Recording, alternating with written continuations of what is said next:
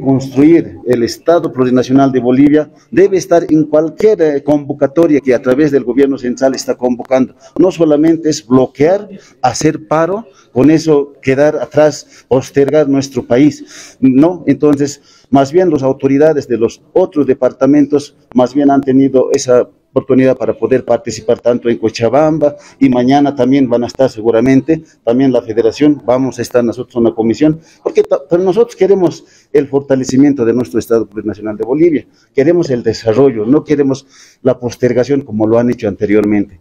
Entonces, de esa manera va a ser muy importante también mañana esta convocatoria que está convocando a través del gobierno central, el diálogo, el misa de diálogo siempre va a reinar para que salgamos nuestros hermanos que no sean perjudicados, ¿no? Más de nueve, diez días están perjudicadas sin poder acceder a sus fuentes laborales. Entonces hay muchos eh, carros que están varados, pero ya la gente necesita eh, la, el movimiento económico. Entonces, de esa manera nosotros eh, apoyamos este diálogo que sea mañana fructífera para nuestro país, ¿no? Eso es lo importante que queremos. Sí, por eso le digo, lamentablemente, porque hay gente de choque que han organizado a través del comité cívico, realmente han destrozado movilidades, han, han herido a los hermanos donde ellos querían salir a sus fuentes laborales, ¿no? Entonces, de esa manera, actuar de estos señores simplemente ha sido no perjudicar a nuestro gobierno. Entonces, de esa manera yo creo que mañana va, va a ser una luz muy importante para que nuestro país que salga adelante con el desarrollo económico, político, social.